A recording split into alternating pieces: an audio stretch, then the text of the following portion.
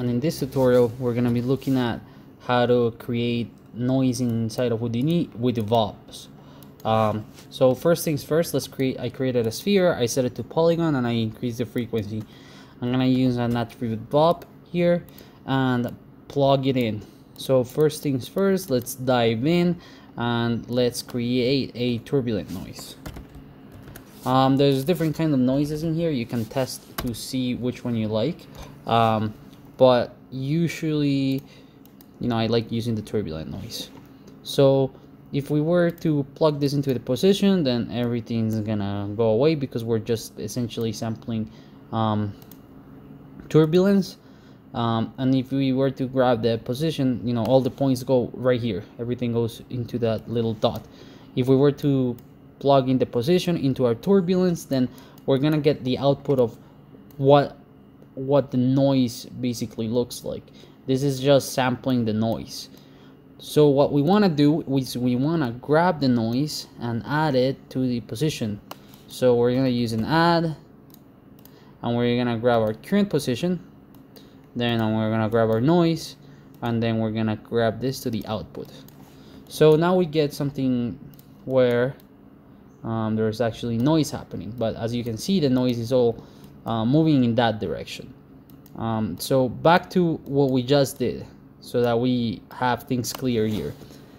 We grabbed our position, which is a vector value, and we plug the position into a turbulence and this turbulence, whatever is happening here, we're adding that to our current position. So we have our current position and then we're grabbing the noise and adding that to the current position. And then this is what it's gonna give us. Now, if we set this to a 3D noise, then the noise is going to be moving into all the directions. So what a 1D noise is doing is basically outputting a float value, is one number. Then when we turn it into a 3D noise, then you can see this changes color.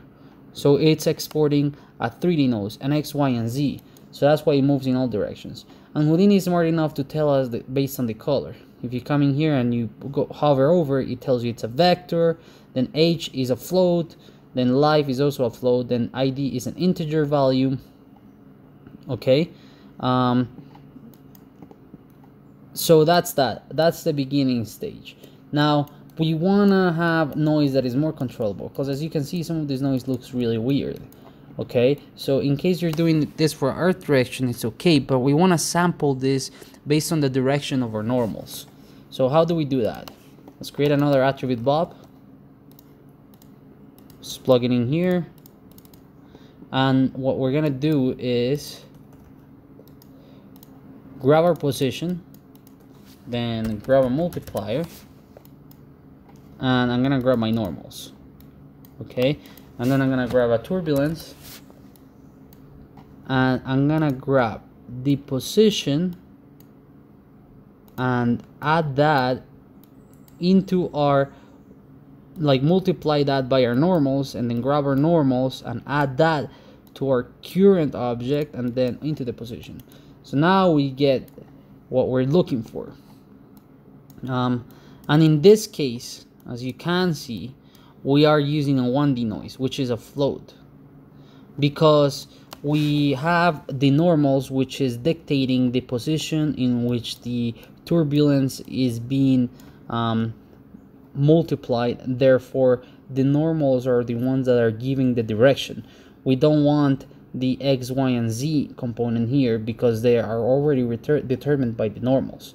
So if we come in here we're going to see that's our implicit normal so that's where this is being displaced. It already knows in which direction we wanted to displace it. Well not not that it already knows like the normals are already there and that's what we want to use to sample the direction of our normal okay? So when we come into the normal we can increase the frequency or decrease the frequency. We can increase the amplitude the offsets uh, the roughness and all this fun stuff okay? So you you can you should play around with the with these parameters change it to sparse convolution which is really cool. There's a bunch of really awesome stuff um, in here in Houdini. Now if we come in here and we select um,